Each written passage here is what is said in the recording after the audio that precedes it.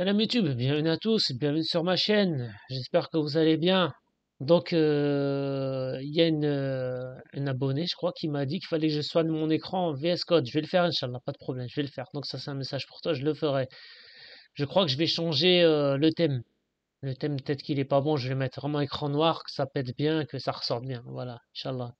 Ensuite, le conseil que j'aurais aimé avoir en tant que débutant, il est simple n'apprenez qu'un seul langage de programmation ou qu'une seule spécialité. Je m'explique. Vous avez bien vu que j'ai tapé dans tout. Hein. J'ai tapé dans le Java, le JavaScript, le Python, le MySQL, le PHP. Tout ça, je l'ai fait pendant mes débuts. Au final, j'ai perdu énormément de temps. J'ai perdu énormément de temps. Ça a été bénéfique pour moi, dans le sens que j'ai appris énormément de choses. J'ai appris la programmation interobjet sur tous les langages. Euh, les plus principaux, on va dire. Je me suis mal exprimé, mais enfin, ça fait rien. Tout ça pour une grosse perte de temps. Alors moi, mon conseil à moi, vous spécialisez dans un seul langage. En sachant que dans un langage, il y a trop de frameworks. Framework, c'est... Euh, je ne vais pas vous l'expliquer là. De toute façon, je vais les voir avec vous, les frameworks. D'accord Donc là, par exemple,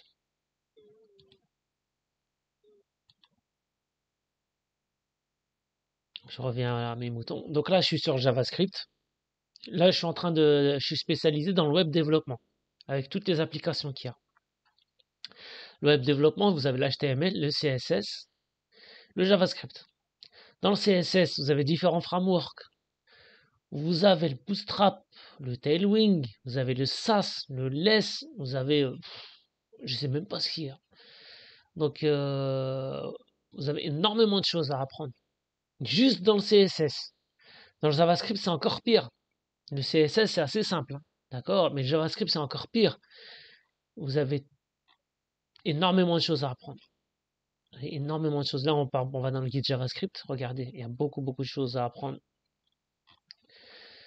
Ensuite, le JavaScript, là, on est en, JavaScript simple. ils appellent ça le Vanilla JS. Mais après, vous avez l'ECMAScript. C'est encore un dérivé du JavaScript. Vous avez quoi encore après dans le JavaScript? Vous avez le TypeScript. J'avais préparé la vidéo, mais j'ai oublié ça. Vous avez le TypeScript. C'est du JavaScript avec euh, un JavaScript typé. C'est pour ça qu'on dit TypeScript. C'est du JavaScript typé. Ça veut dire que là, on déclare euh, à quoi correspond euh, les variables, d'accord De string euh, pour euh, les lettres, le number pour les, nombres, voyez, bon.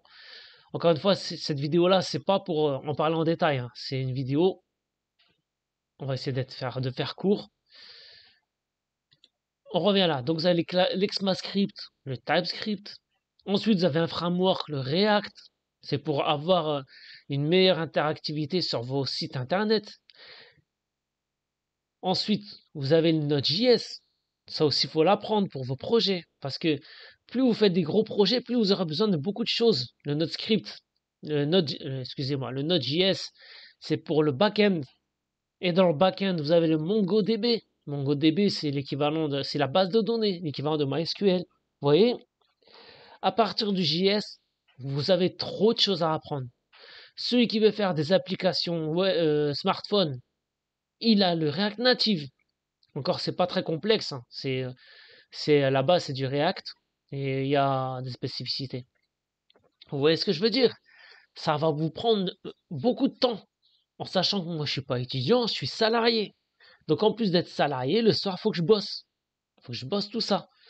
Donc, on n'a pas trop le temps. Si j'arrive à faire deux heures dans la journée, c'est plutôt pas mal deux heures quand je travaille. Le week-end, je peux doubler quatre heures. Mais il y a la vie familiale, il faut être réaliste. Vous avez une, vie familiale, les courses, les enfants, les loisirs, madame. Sans compter que vous n'êtes pas une machine. Vous allez vous reposer, vous, allez être un peu sur YouTube, vous allez lire un peu de, de réseaux sociaux, vous allez regarder un film, vous voyez ce que je veux dire. C'est énorme le travail qui vous attend. Alors en plus, si vous, vous vous dites oh, je vais apprendre plusieurs langages, vous n'allez pas vous en sortir et croyez en mon expérience, croyez-en mon expérience, ça fait 4 ans que j'étudie, j'ai toujours rien fait. J'ai fait des petits trucs à droite à gauche. Et là, j'ai repris de, de zéro, j'ai repris une méthodologie. Je dis stop, on arrête les bêtises, fais une méthodologie, approfondis JavaScript. D'accord? Étape par étape. Donc c'est vraiment le conseil que j'aurais aimé avoir, c'est euh, d'apprendre un seul langage de, programmation. Dans mon cas de figure, c'est le JavaScript. En sachant que je suis développeur web, autodidacte, donc j'ai appris le HTML, le CSS, j'ai toujours pas fini de découvrir.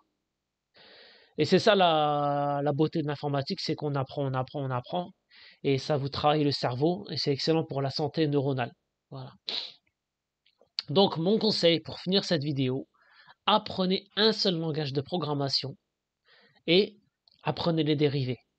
Et encore une fois, pour le JavaScript, les dérivés, vous avez le Node.js, vous avez l'ECMAScript, vous avez le React, le React Native, le MongoDB, le TypeScript. Vous voyez un peu tout le boulot qu'il y a? C'est énorme. Abonnez-vous, likez, merci à tous, merci d'avoir regardé la vidéo. Merci à tous.